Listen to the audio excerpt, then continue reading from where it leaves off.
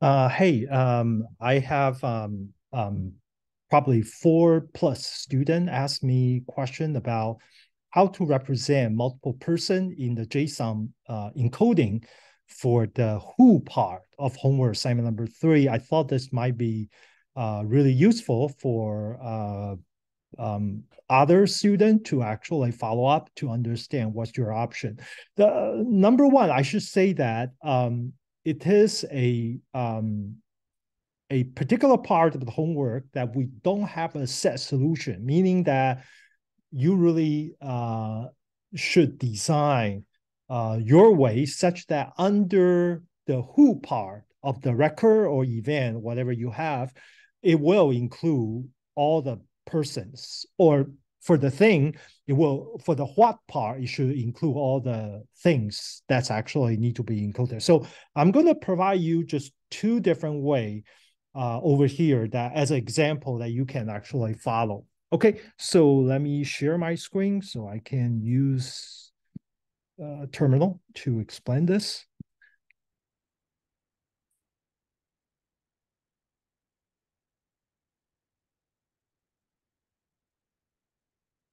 So I'm going to say who and uh, what dot txt. Okay, so assuming we have, um, um, let me just use example. I have actually two person or three person. Maybe I use three person. In this scenario, we have Tiffany and we have instructor. Let me just say Felix. And then we have John. So we have three person. So um, the one way of doing encoding uh, under who. So imagine that this is your, assuming the following is the, is the output from record, colon, colon, um, dump to JSON. Okay, this is actually the, the output. So output from this, remember the return value is always return type is actually JSON colon colon value. Okay, so it's actually a JSON.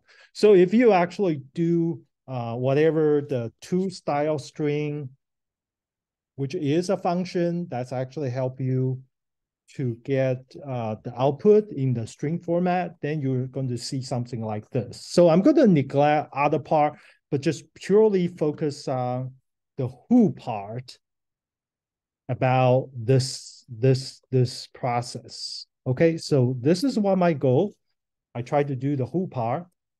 Okay, so now the, the thing is that the requirement is that whatever I put these three dots here, they must include all three person, assuming that is the event which all three person were there.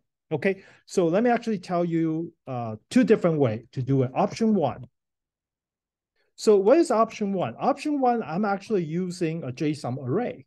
So I, I will say who, and then I'm actually going to say this is an array. So in JSON, array is bracket. Okay, so it looks like this. And then within the array, I have to put multiple element. So each of this is a, uh, each of this, by the way, I should say each of this will be the output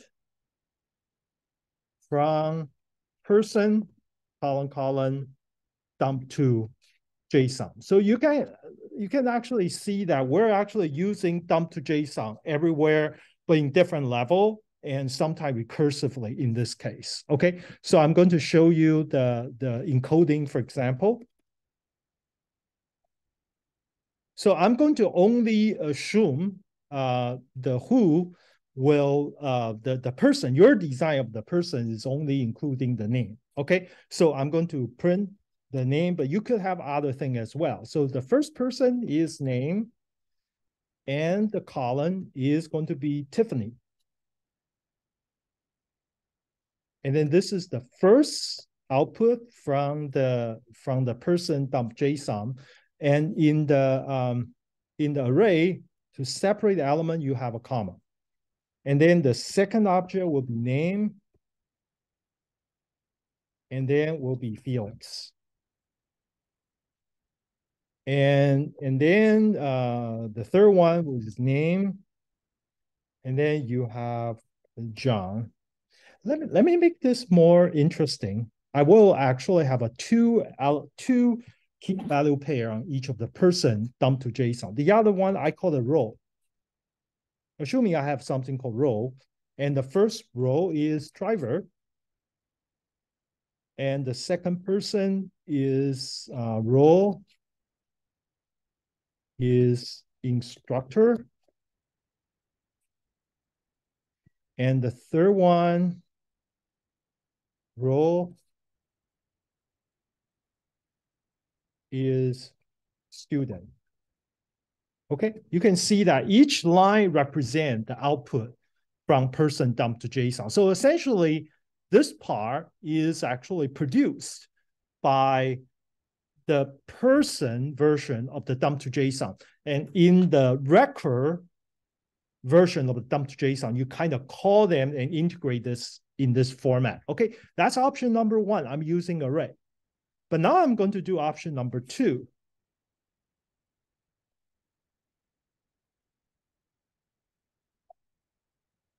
So option number two is I'm not going to use array, but I'm actually going to encode it a little bit differently, uh, assuming that, assuming, let me actually say this, assuming that uh, row is not part of, uh, um, I should say, uh, person dump to JSON. So row is actually something which is associated with the event, but not associated with a person. Okay, so then I'm actually going to do this way. So instead of using array, I'm actually using the regular object like this. And, and then I'm actually going to do this. And for example, the first row is driver. Then you see I'm doing another key value pair. Uh, oh, wait a minute. Okay, driver, yeah. And inside here, I actually have a JSON object. And inside the JSON object is name,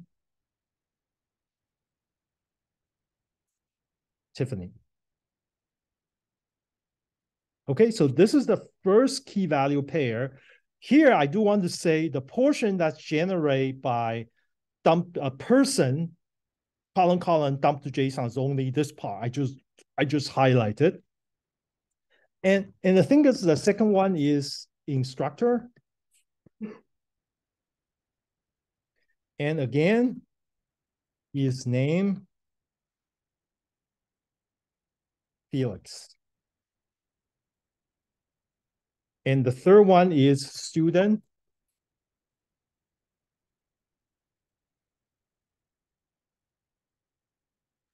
And then the third one is actually John. Okay, you can see that this is a different way of, of representing uh, the, the number of rows. In both ways, you can see that I actually represent multiple person. And which way is better uh, to me, it depending on a lot of situation. For example, over here, you essentially need to encode the role of a person in some event in the person class itself, which might not be ideal because I could be instructor for uh, one thing, but I could be student in another record. So having a, a role means that I have to update this the person class. So this is this is actually the the the beauty or the the flexibility about object-oriented paradigm is really you decide what's the best way to model the, the, the situation. I mean, the option two also have some problem. For example, what happens if I have a multiple student?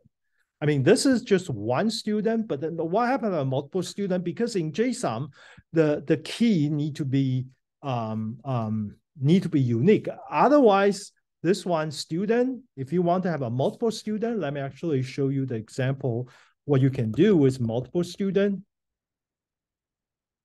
If you want to do multiple student, you need to do this. You actually put the student part, you, you should first change the student to be students. And then you should actually change this to name John. And then the second one is name Jason. And, and, and then name Helen.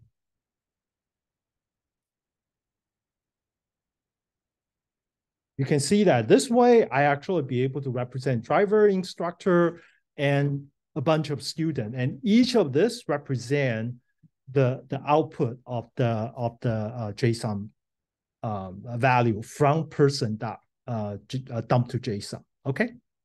Any question in the room about what I just said?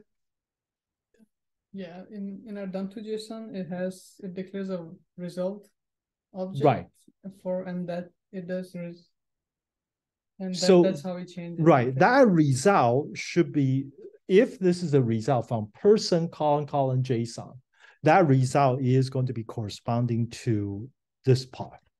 This is this part is is should be the output. This part is a JSON, right? And that should be corresponding to the result that you implement in the in the person uh Gotcha. colon colon yeah dump to Gotcha. I thought the the thing in square bracket was the who over there at the top. Is that what it is? Um, oh no, at the bottom, like before the array starts, you have who in double quotes. This this part? Uh, it's it's right over here. Okay. And is because uh Who is the key for that the in the record, what assuming we have a record, Mhm. right?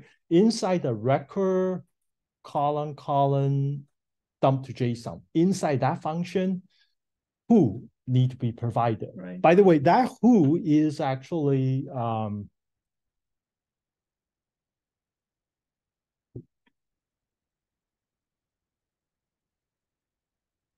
that who was the was the parameter one in in the should be in in somewhere in the encoding that the concept should be associated with the with the with the record class Right. yeah So for for right now, we just have one object, which is this, and then person, then dot dump to JSON. Instead of that, one object can use the entire array like that, because that's what I'm trying to do. Um, for the I'm I'm trying to use the key for who, and then I'm trying to make the array. I, I i'm sorry i miss Oh, I it's mean, not clear what what uh what you Yeah, it's kind of hard to explain because because I wasn't entirely sure how to make an array for the res- result. you if you don't know how to make array you can do it this way. Mhm. you can do it this way. Okay, I'll array it, it depends on how you you can actually make this for example in the record in the record you must have a multiple person right Yeah. so you can say well instead i can actually say uh, if you define your your your uh, your record say person one person two person three then over here you can just say person one as a key person two this is another option. You can do that. You don't have to say uh, an array. You can say person one, person two, person three. This represent. Yeah, so you can see that it's quite object-oriented program is quite flexible.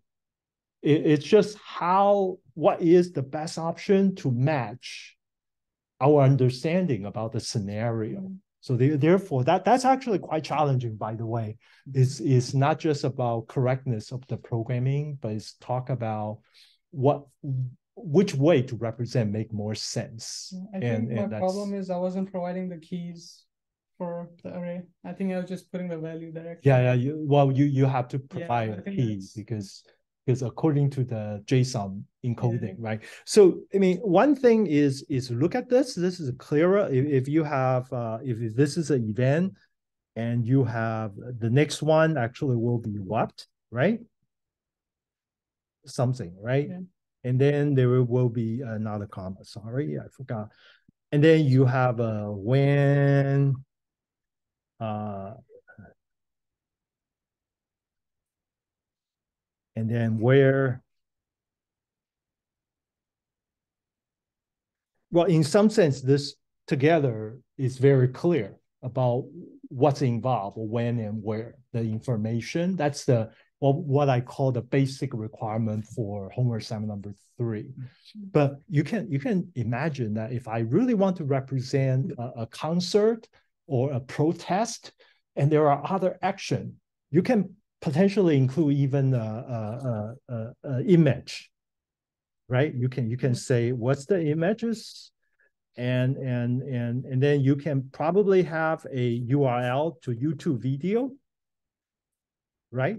And so you can actually have a lot of event, but it's really interesting. You can actually make this class really powerful to represent everything. And by the way, the nice thing about JSON is that I want to have the basic required information, but I can have a lot of extended information. For example, this particular uh, scenario record doesn't have a YouTube video, then I don't have the YouTube link there.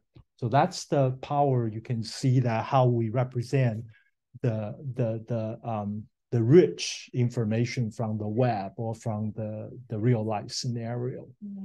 And that that's actually um um um very powerful paradigm for you too. Yeah. Yeah, I couldn't figure out how to make the code count how many persons, so I put like three dump to JSON functions for each. So, so you need to put a key. Yeah. And then and then call the dump to JSON function. Yeah. Okay, it will be integrated. I, yeah. I I now, once you do it once or twice, you you will you will master this. I mean, don't worry. It's it's it's just you just need some practice. Okay. Okay. Any other question? Okay, I'm going to uh, finish and, and upload, okay? Thank you. You're very welcome.